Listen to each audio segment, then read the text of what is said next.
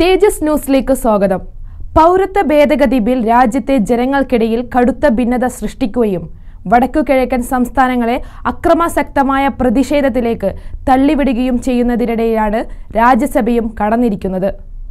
ഇന്ത്യയിലെ കുടിയേറ്റക്കാരായ പാകിസ്ഥാൻ അഫ്ഗാനിസ്ഥാൻ ബംഗ്ലാദേശ് എന്നിവിടങ്ങളിൽ നിന്നുള്ള മുസ്ലിം ഇതര വിഭാഗങ്ങൾക്ക് ഇന്ത്യയിൽ പൗരത്വം നൽകുന്നതാണ് ബിൽ. ഇതോടെ ലോകത്തിലെ ഏറ്റവും വലിയ ജനാധിപത്യ രാജ്യമായ ഇന്ത്യ സാർവദേശീയ തലത്തിൽ നിരവധി ചോദ്യങ്ങളെ നേരിടുകയാണ്. ഇന്ത്യയുടെ പൗരത്വ നിയമങ്ങളിലെ സുപ്രധാന മാറ്റത്തോട് വിദേശ മാധ്യമങ്ങൾ രൂക്ഷമായാണ് പ്രതികരിച്ചത്.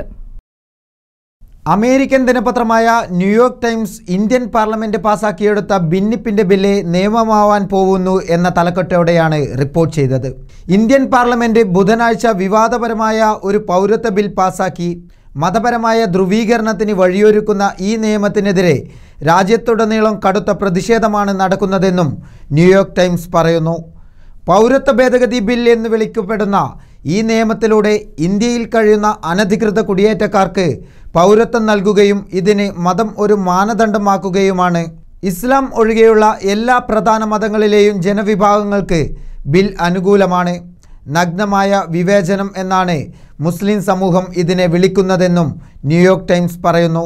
മുസ്ലിം കുടിയേറ്റക്കാരെ ഒഴിവാക്കി വിവാദ പൗരത്വ നിയമം ഇന്ത്യ പാസാക്കി എന്ന തലക്കെട്ടിലാണ് വാഷിംഗ്ടൺ പോസ്റ്റ് വാർത്ത നൽകിയത്.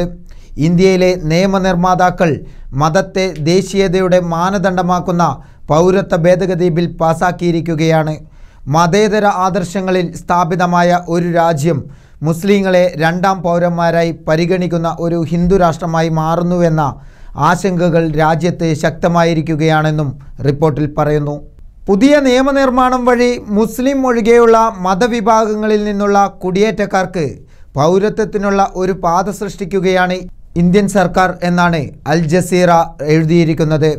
ബംഗ്ലാദേശ് അഫ്ഗാനിസ്ഥാൻ പാകിസ്ഥാൻ എന്നിവിടങ്ങളിൽ നിന്നുള്ള മുസ്ലിങ്ങൾ ഒഴിച്ച് ഹിന്ദു സിഖ് ബുദ്ധ ജൈന പാഴ്സി ക്രിസ്ത്യൻ മതക്കാർക്ക് പൗരത്വം നൽകിക്കൊണ്ട് അറുപത്തിനാല് വർഷം പഴക്കമുള്ള പൗരത്വ നിയമത്തിൽ വലിയ മാറ്റങ്ങൾ വരുത്തിയിരിക്കുകയാണ് ഇന്ത്യ എന്നാണ് അൽ ജസീറയുടെ റിപ്പോർട്ടിൽ പറയുന്നത്.